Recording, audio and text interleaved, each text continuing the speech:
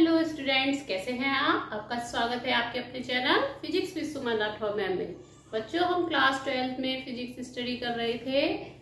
Class twelfth की physics में light प्रकाश चैप्टर हम लोगों का चल रहा था तो उसी में हम नेक्स्ट टॉपिक आपके लिए बताने जा रहे हैं आज, क्रांतिक कोण यानी कि क्रिटिकल एंगल। क्रांतिक कोण क्या होता है? ठीक है, बहुत ही इंपॉर्टेंट है, इसको अच्छे से समझिएगा। क्रांतिक कोण किसे कहते हैं? इससे पहले अपवर्तन हमने आपको समझाया था, अपवर्तन के नियम बताए थे। तो उसी में आगे बढ़ते हुए अपवर्तन, देखिए, कोई हमने एक पृष्ठ लिया है, ठीक है? और इस पृष्ठ के एक और जो है, ऊपर हमने ले लिया सघन माध्यम, कांच ले लें, है ना? सघन माध्यम, कांच ले लेते हैं, ठीक? और इस पृष्ठ के नीचे विरल माध्यम है। विरल माध्यम हम कौन सा ले लें? वायु ले लें। कांच की तुलना में वायु कैसा है? विरल माध्यम है। ठीक। अब यहाँ पर ये कोई आपतन बिंदु ले लिया, जहाँ कोई किरण आपतित हुई। यहाँ पर देखिए, ये इस तरह से कोई किरण आपतित हुई। ठीक। अब इस बिंदु से अपवर्तन के पश्चात वो क्या होगी? दूसरे माध्यम में जब जाएगी तो सघन माध्यम से जब विरल माध्यम में जाती है तो क्या होता है? अविलंब से दूर हट जाती है। तो ये किरण क्या होगी? अविलंब से दूर हटती हुई कैसे निकल जाएगी? इस तरह से ये बाहर निकल जाएगी, ठीक? तो ये आपतित किरण, ये कौन सी किरण हो गई? आपतित किरण और अपवर्तन के पश्चात ये वाली किरण कौन सी हो गई? अपवर्तित किरण। ठीक है, ये तो आपको याद होगा। अपवर्तित किरण। ठीक है तो इस तरह से अगर कोई प्रकाश की किरण सघन माध्यम से विरल माध्यम में जाती है तो अपवर्तन के पश्चात वह क्या होती है? अवलंब से दूर हट जाती है। अब अगर हम ये जो आपतन कोण है, आई, ये इधर का अपवर्तन कोण आ आपतन कोण का मान बढ़ाते जाए, ठीक? ये किरण ऐसी है, थोड़ा सा बढ़ाया, ऐसी हुई। तो अपवर्तित किरण क्या होगी? थोड़ी सी और ऊपर को उठेगी। फिर इसको हमने और बढ़ाया तो ये फिर और ऊपर को जाएगी। जाएगी?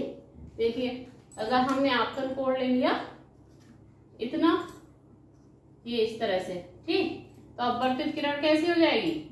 और ऊपर हो जाएगी, ठीक? तो इस तरह से हम आपतन कोण का मान बढ़ाते जाएँगे तो एक विशेष आपतन कोण मिलेगा, जिस पर ये अपवर्तित किरण जो है, वो कैसी हो जाएगी? नब्बे डिग्री का कोण बना लेगी। यानी कि ये देखिए, इस तरह से अगर हमारी आपतित किरण आएगी तो वो इस तरह से इसके ऊपर नब्बे डिग्री का कोण बनाते हुए ऐसे बाहर निकलेगी। इस तरह ऐसी आए तो वो यू निकल जाए। देखिए बच्चों, अगर हम इस आपतन कोण का मान और ज़्यादा बढ़ाए क्रांतिक कोण से भी ज़्यादा कर दे, है ना? इसका मान अगर हम क्रांतिक कोण से भी ज़्यादा कर दे, तब क्या होगा? उस कंडीशन में।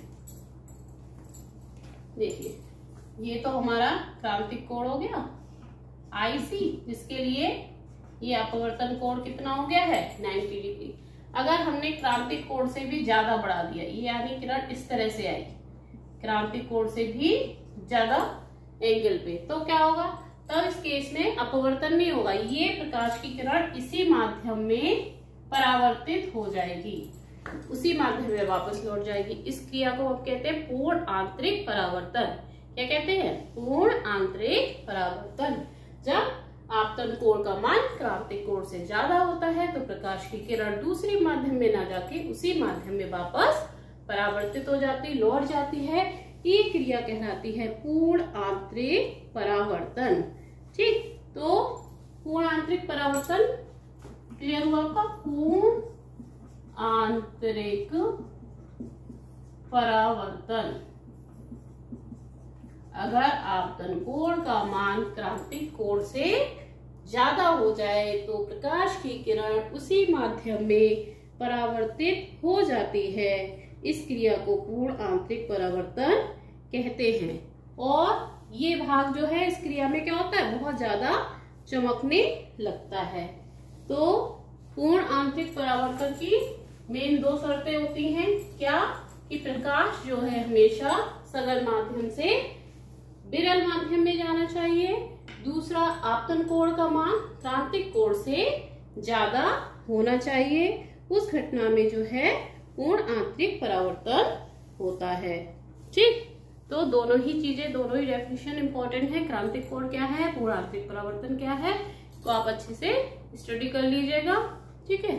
और पूर्ण आंतरिक परावर्तन का आपने एक एग्ज़ाम्पल जो है देखा होगा। ये व्यवहार में ही। कैसे?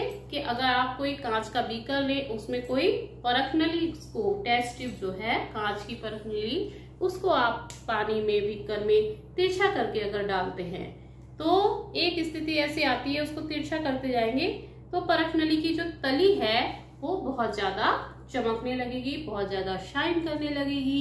ऐसा पूर्ण आंतरिक परावर्तन के कारण होता है। कैसे?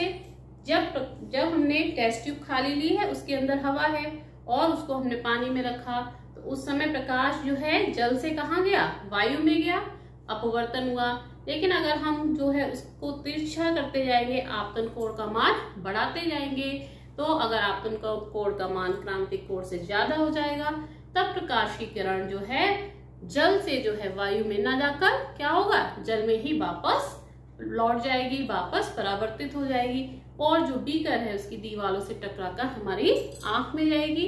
तो हमें परख नली जो है चांदी की जैसे चमकती हुई नज़र आएगी। तो ये पूर्ण आंतरिक परावर्तन के कारण होता है। बहुत ही इंटरेस्टिंग जो है एग्ज़ाम्पल है, इसको आप करके भी देख सकते हैं।